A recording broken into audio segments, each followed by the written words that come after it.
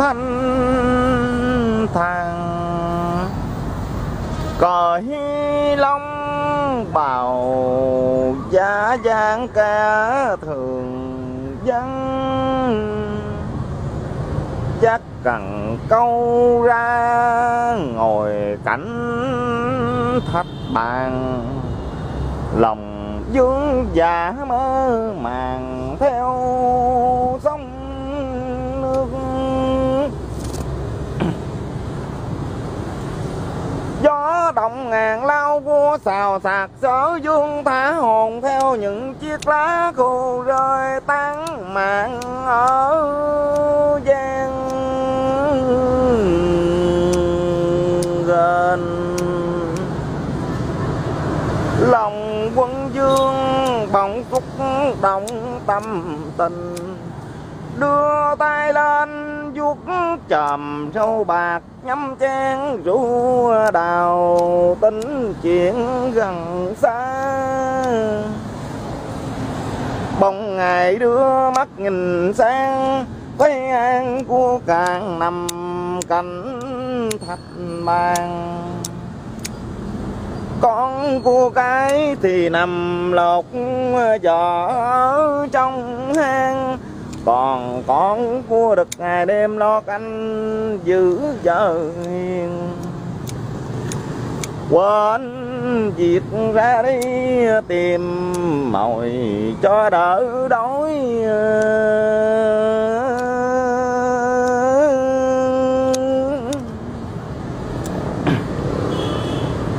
Mấy ngày sau coi bề hiền thế cưng cáp vợ chồng cô sanh cha vào mát cánh giang hà sợ dưỡng luôn theo dõi đôi cua và yếm đắm đà ngày quan tầm than tình chồng nghĩa chờ đẹp mấy đảo tàu khang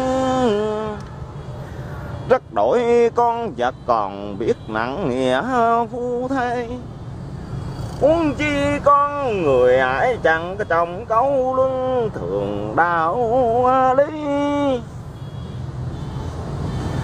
Trừ nhất giả đồng sàng chung giải, Nhất nhật u tây thầy ba giảng thăm tho khoan lại ngày qua, nước thủy chiều mây hoang lên, xuống vượt vàng gian qua, đào rụng rơi từng cánh mồng đến ngày lột cho con cua đực thì con cua cái mặt tình nó đi dọc về ngang. Bỏ con cua đực nằm như quạnh ở trong hang con ác cù lại đem lòng tàn nhân nó đem về một cả nhân tình với nỗi càng to lớn, tên xe xác anh chồng. Sâu số vô duyên. Sợ dương thay cảnh bạc đen cất tiếng than rằng bể rồng trời cao. Đàn ba lòng giả hiểm sâu, ngoài môi lại nói những câu ân tình. Ôi, ngán ngầm những nhân tình thay thay là lùng, thấy câu độc ngủ nhân tâm. Lòng sở dương như môi sắc kim châm. Dần mấy kẻ tình không giữ được ta muốn thử xem lòng dạ thế nhân ai là người đang chẳng mới viết bản truyền rao gấp cả kinh hành. Truyền cho thằng dân phải tuân theo sắc lệnh của triều đình. Tất cả đàn bà sở quốc ai can đảm giết chồng thủ cấp dâng lên? Được ban chức thăm phu nhân lúa là gấm dốc vàng dòng mười xe từ trong thành nội ban ra, chiêu giường nước sở gần xa đăng tường chiêu chỉ ban ra chưa đầy nửa tháng. Tề từ bậc phu nhân mệnh phù đến số nữ trang thiếu nữ trung thành. Họ đem thù cấp người yêu đến hoàng cung để hưởng lộc chiều đình vua dằn lòng căm dằn, giả phế liền, chiếu chỉ thứ hai. Ai giết được vợ, nhà chậm sẽ chia nửa gian sang, sợ quốc rồi một năm trôi qua, lặng lẽ không có một người nào đến bể rồng xin nhận kiếm về nhà giết vợ.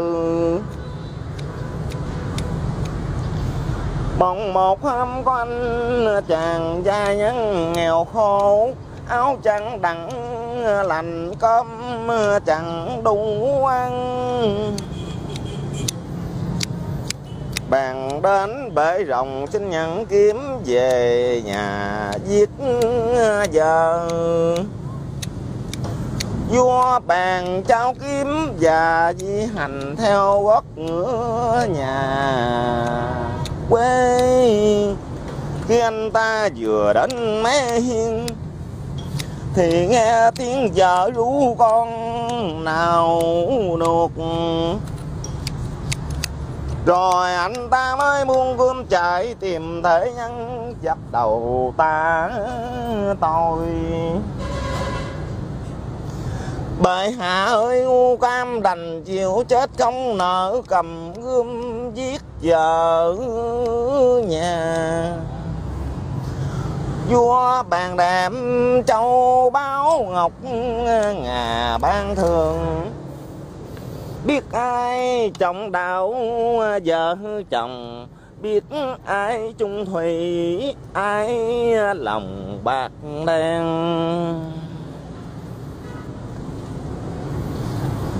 Biết ai chồng đau vợ chồng.